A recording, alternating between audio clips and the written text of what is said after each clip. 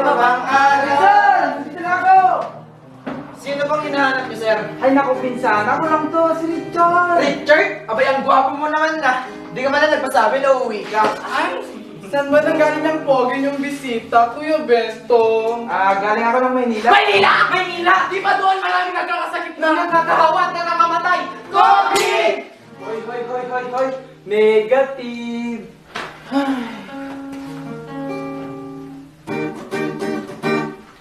Galing ako sa Maynila at di ko akalain na ako'y nakita.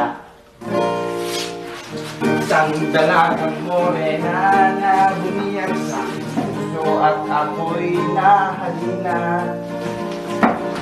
Natulala ako, laglag ang puso ko Nahulog din sa test na hawak ko Ah, Pinay. Si Richard nga pala, pinsan ko. Hi miss, ano nga palang name mo set bilang may kita sa list ng friends ko?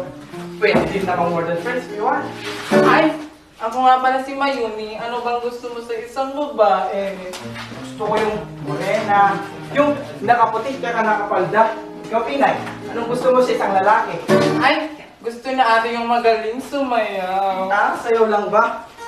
Pinay!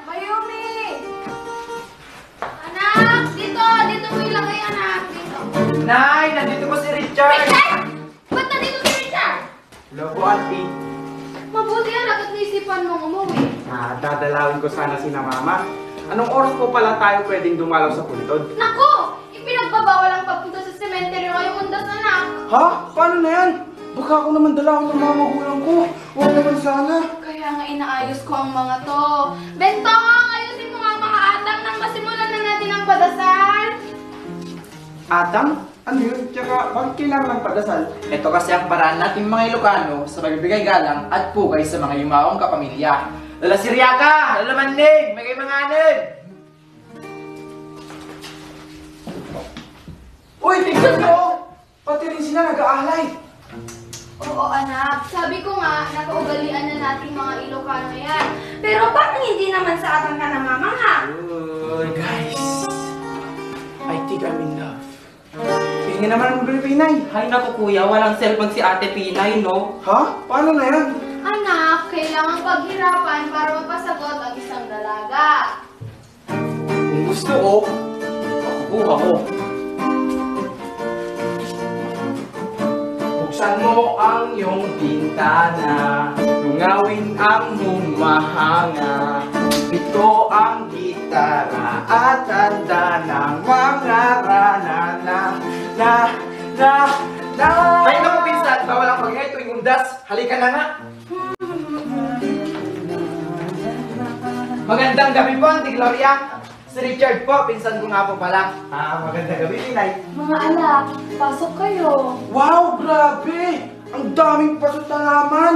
Ang yaman niyo naman, tita! Mula kasi nung nagka-pandemya, nawalan na kami ng hanap buhay. Mabuti na lang, naisipan ni Pinay ang paggawa at pagbenta ng paso at halaman. Kaso masakit lang sa likod. Ano gusto mo kong tulungan, Pogi? Ano ba yung sinasabi mo?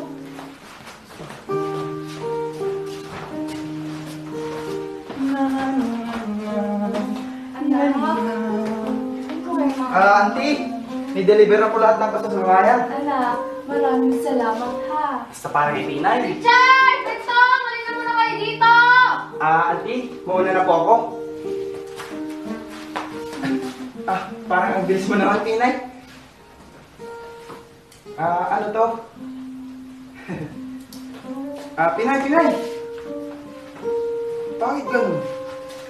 Di niya ako kinakausap. Daanin ko kaya sa love letter.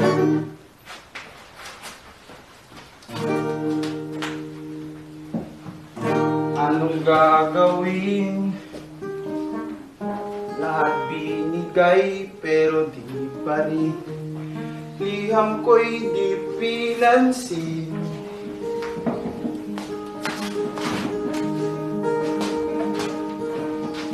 Ano to? Kaya ba kung wala natatanggap na sulat dahil di mo lahat? Magpapaliwanag ako, pinsan! Paliwanag?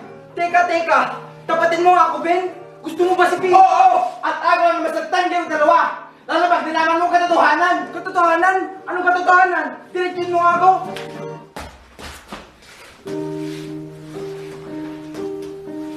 Ano Richard? Mamahal mo ba si Pinay? Kahit alam mong pipi siya?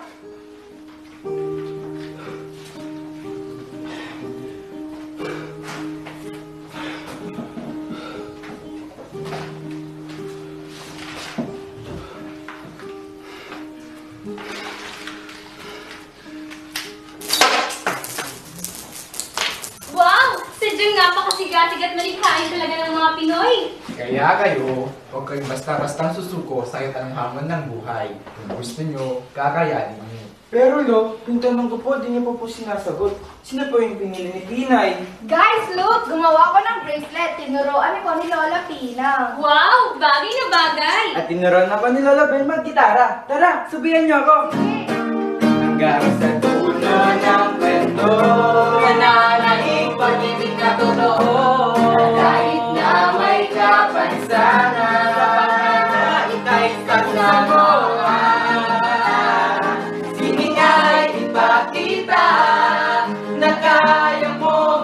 I and I.